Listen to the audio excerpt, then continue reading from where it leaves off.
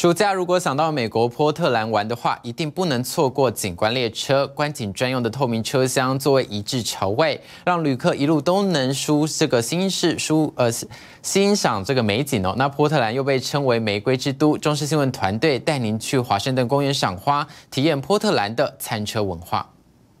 窗外美景一览无遗，镜头拉远一看，你没看错，这里其实是火车车厢，同时也是美国最著名的景观列车之一。除了眼前的加大型窗户之外，抬起头来还能看到天空美景。不同于一般座位只能向前或向后，这个景观车厢座位一致朝外，让旅客不用转头扭腰就能自在的欣赏美景。Uh, I really like it. It's nice to uh, you know get to see the scenery, countryside. I don't know. We're getting to see Mount Rainier right now, so that's pretty cool.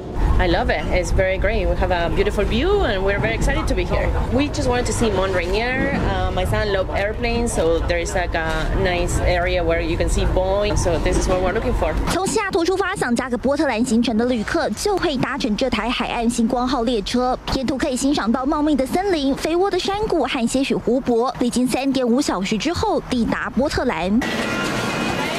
餐车形成一个小市集，波特兰最著名的就是餐车文化。全市大约有五百辆餐车，品相像是韩国烧烤、墨西哥卷饼、美式三明治，甚至连台湾的珍珠奶茶，通通有。They also gives those in the food industry an opportunity to test items, and we're inspired by your night markets. 每一个街角都是这种餐车，尤其在 COVID 这段时间，大家不愿意坐在餐厅里面吃饭。如此多元城市，其实与台湾有着密切关系。波特兰和高雄。已经是三十六年的姐妹市，华盛顿公园里的玫瑰园区就有高雄之花的踪影。整个园区有六百多个品种，一万多株玫瑰。每年五月中旬到十一月，最能感受波特兰玫瑰之都的浪漫美丽。记者钟成良、曹文宁在美国波特。